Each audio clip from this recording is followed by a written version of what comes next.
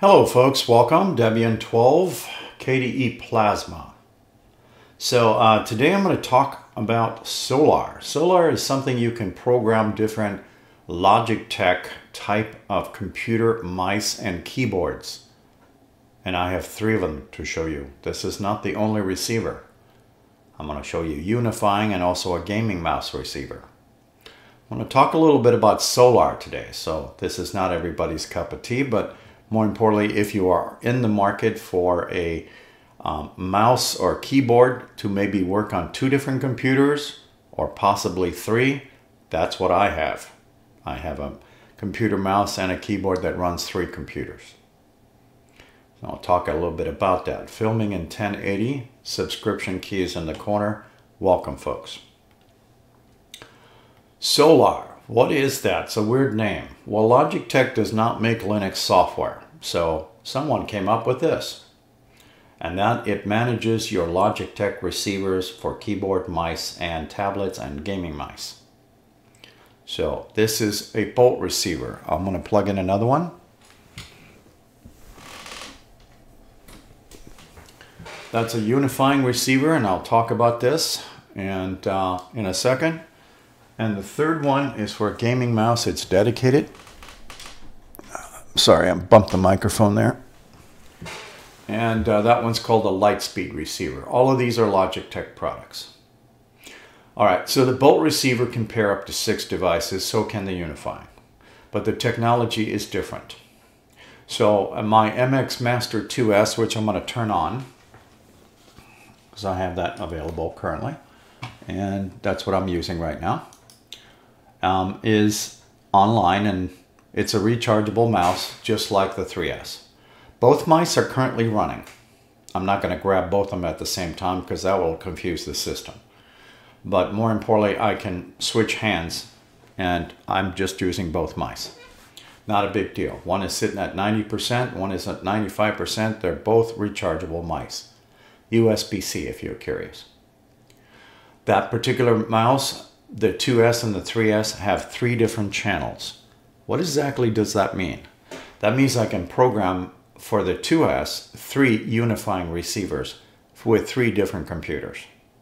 That's what this tool does. Solaar is used to program these receivers. I can do the same thing with the 3S. It has three channels, and so does this keyboard. Has three channels. So that means that did I program three bolt receivers? Yes. I programmed them identically except this is on channel 2. I have one on channel 1 and the other one on channel 3. So basically I can use it on three different computers without pulling the bolt receiver out of the machine. Because I do these kind of videos with multiple computers in my office. Now the Lightspeed receiver, which I'm, I'm going to activate now, and this is currently grayed out. I'll turn that mouse on, and now you can see that's active. That means I got three mice running. This one, this one, and that one. They're all online. The 3S, the 2S, and the 502. The 502 is a Lightspeed receiver. It's uh, very quick. I'm, I'm going to say it's down to like one millisecond or somewhere in that range for uh, speed. It has a couple of different selections. The wireless link is encrypted.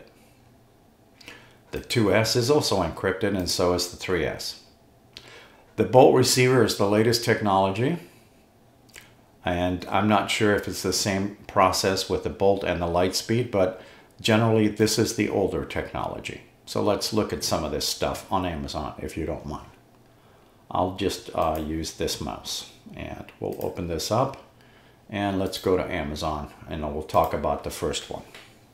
So bolt, well, we can find bolts that go underneath your car or we can, you know, this kind of bolt, but let's just use the word receiver. Something close, close enough. All right, so this is what I'm referring to, and I'll go full screen. And I'll zoom in a little bit more if you like. So the Logitech Bolt receiver, you can buy these all by themselves. You can sometimes buy them in pairs, a kit or two. I think there's a pair of two, but If they're singles, that's no big deal because also the Logitech Unifying is also packaged singly or in pairs. You can buy them raw, in other words. You can program them yourself using Solaar. The Logitech Bolt, the newer ones, uh, have this, um, I guess it's a greenish yellow color with a bolt on it.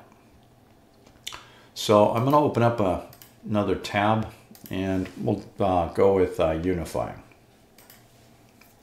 So the unifying receiver, I'll open that up to get a bigger picture on it. Um, basically have that orange looking symbol on it somewhere on the front part of the receiver. These also can be reprogrammed and they can be programmed for six different devices. And you can see they're fairly inexpensive. Uh, so about $10 a piece in this package. So that's a little under 20 bucks for two.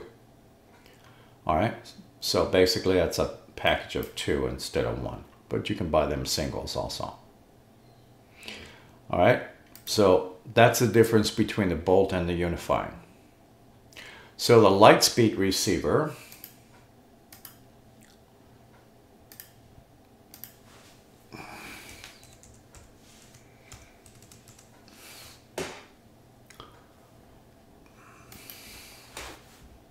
looks like that. Okay? And that's what that mouse is using, all by its lonesome for that gaming mouse. So let's talk a little bit about the devices that I'm currently using and what they look like. So MX Keys S. So let's find out what that looks like.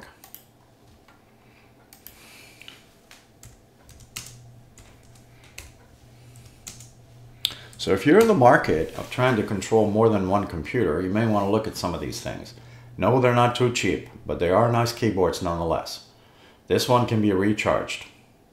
Okay, um, you, it's a USB connection. But more importantly, let me open this up. One of the things that I like about it is the touch and feel, and it's got kind of recessed buttons. But if you look over there, it has the number one, two, and three on it. That means three different computers. So that's channel 1, channel 2, channel 3. There is where I program these bolt receivers from. So I will program one for channel 1, one for channel 2, and one for channel 3. So hence I have a separate bolt receiver in those three computers. If I have a fourth one, I usually have to just borrow one. I just switch it over to another computer. I actually do have four in my office that I use for Linux for seniors. Just to demo that. Now what's the mouse look like? All right, so that would be, I got two of them. Um, let's see, the Master 2S is the older mouse, and that one looks like that. And what I'm going to do is I'm going to turn it on so you can see it first, visually here. Uh, it oh, actually it is online already. Now I want you to listen to the left mouse click on this 2S, this one. And then I'm going to show you what a 3S looks like. So the 3S looks like this. I like the 3S for multiple reasons. First of all, this is very quiet when it scrolls. I can turn the ratchet on and off but it's very quiet when I click. I'll put it right next to the microphone. I'm actually using it. Oh, too many clicks. All right. So if I, which one would I prefer, the 3S or the 2? The 3. I actually like that. The scroll wheels also are slightly different. I think the 2S is a little bit more noisier, uh, just perspective-wise, but I, it's also older technology. But it's not a bad mouse. Not at all. Okay, neither one of them, actually. All right, so what did I, I showed you the keyboard. Uh, the, uh, the other one is a 502. So what's that one look like? Uh, do I even have, yes, I do have it. Um, so basically, um, I think that's the new one. Mine kind of looks like I'm waiting for a refresh here.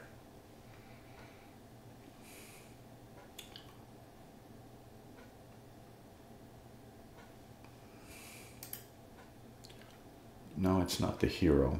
I apologize for that. But mine looks like that without the fancy lights on it. Yeah, I was just waiting for a refresh. Uh, that's close enough. That's what this one looks like. Um, you can click that button and it'll freewheel. It also has a middle click. I don't know if you, a lot of you folks don't know what that is, but when you push straight down on these things, it'll uh, do a middle click like make new tabs. I just made a new tab. I'm to close it. That's what middle click buttons are also good for on web browsers. But more importantly, you can turn on the ratcheting action. You have all kinds of buttons that do all kinds of stuff. And this particular mouse is rechargeable also, but it uses a, a Lightspeed receiver. And that is what I showed here on this tool. And that one can only be paired to two devices. The Bolt can be paired to six, the unifying, which is older technology, six also. The 2S cannot be married to a bolt receiver and the 3S cannot be married to a unifying. In other words, you cannot program uh, 3S to a unifying. It has to be with a bolt. And the 2S, the same thing. It cannot be um, paired up with a bolt receiver. It has to be unified. So hopefully that piece of information, if you're shopping for toys to mix and match, um, that information should be hopefully valuable to you instead of wasting your money. Now, with that said, we can also do some stuff with this tool besides pairing and unpairing. And when you are pairing a mouse, I don't care which one of these, I would uh, probably get, if you have the luxury of a spare mouse and you're doing a fresh Lightspeed receiver, unifying, or bolt, um, you know they're, they're blank. You can't just insert it and expect your mouse to be found. I would suggest getting a cheap mouse if you have one. I don't care if it's pluggable or another one with a dongle on it to program these for the mouse part. The keyboards also, when you're programming them, normally when you pair them up, you're just typing a number on your keyboard to verify things. But you need a mouse to click with is what I'm getting at. All right, you can see the battery levels on these things. The 2S is the only one with low battery. Well, not really low, it's 20, 50%, sorry. But I don't know why you would want to turn off your backlighting in here, but you can do that if you unlock these. I'm going to relock them. And the same thing goes with some of the other functions. Now, the, the 3S here, uh, I'm going to grab up the 3S itself. And if you don't mind, I'm going to disconnect some of these. That was the gaming mouse. I'm going to put that to the side and turn off the power. And again, that one was also rechargeable.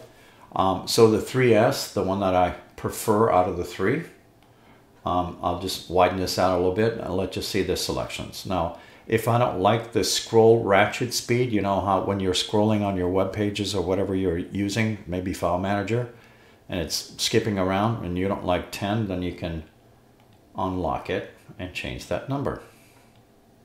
And then relock it. Uh, if you don't like the dots per inch, then unlock it. And you can go from a thousand to whatever your mouse supports. Okay, and then relock it. And some of the other stuff that you can change with buttons. Okay, same thing with the 2S. All right, and I'll unplug this one. Now the K850 I didn't show, but I will do that anyways. Um, let me open up a third tab and type in that keyboard.